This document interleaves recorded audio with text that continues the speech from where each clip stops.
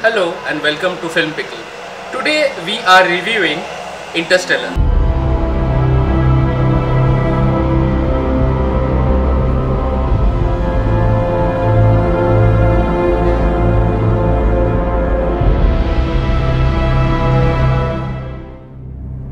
We'll find a way.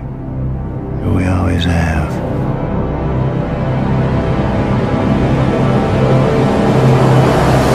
Yes, the Chris Nolan masterpiece is finally in theaters. And this movie is meant to be enjoyed on the big screens. What's this movie about? Well, it's about a father who leaves his kids behind on a doomed planet to save them from the planet and find a new habitable planet for the humans to live in. It's a simple enough plot. There is not much of plot complexity in this as compared to the other Nolan films, such as Prestige or even for that matter Inception. But having a very simple plot, this movie is all about the execution. This movie is brilliantly executed. Every single scene, I am getting goosebumps just thinking of the scenes, are so brilliantly well done. Be it the capture of a drone from the Indian Navy, it seems, to the hero going to the black hole. And that's not a spoiler, that's in the trailer, you can see it every single scene is well shot, well choreographed. It's a Nolan forte, of course, but still, learn it from the master, no one does it better. Should you watch it? Of course, what are you waiting for? Stop this review, maybe right now, and go watch the movie. It's that good. Acting wise, you have the typical Nolan actors, such as Michael Caine, who is in most of his films.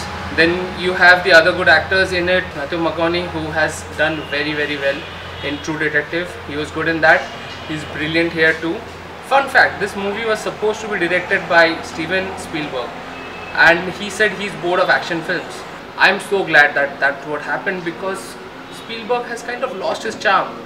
Chris Nolan is on his ups. This is like, you know, there was Inception and then there is Interstellar on the execution level. I'm talking purely on execution. Okay, now coming down to story part.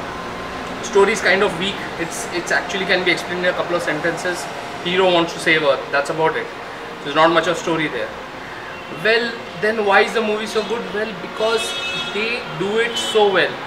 They execute it so well that at the end of it you're like stand up and clap. My entire audience theater audience stood up and clapped for almost two minutes. That's how good it was.